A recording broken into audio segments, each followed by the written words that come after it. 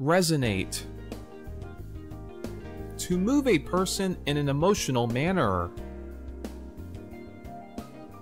The speaker hopes her inspirational story will resonate with audience members and spur them to chase their dreams. Since the book focuses on Mexico's independence, it seems to resonate more powerfully with my Mexican students. The alcoholic's tragic story seemed to resonate with other members of the sobriety group.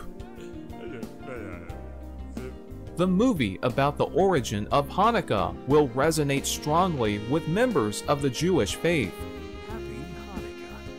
Although the writer hoped his books would resonate with all of his fans, he was glad a few people were moved by his efforts. Resonate. To move a person in an emotional manner.